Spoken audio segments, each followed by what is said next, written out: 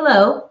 my name is Pat Fong Kushida, and I am President and CEO of the Sacramento Asian Pacific Chamber of Commerce and the California Asian Pacific Chamber of Commerce, and we're located here in Sacramento, California. As President and CEO of the Sacramento and California Asian Pacific Chamber of Commerce, our focus is really about attending to our community through economic development. We're laser like focused on making sure that our Asian owned businesses and our small businesses in our community are given the tools and the resources necessary to start a business, to stay in business, and to grow.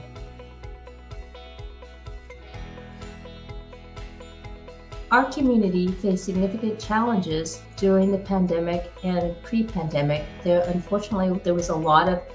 of hate directed at a lot of our Asian owned businesses. And so I believe very strongly that the caring of our community is really about making sure that everyone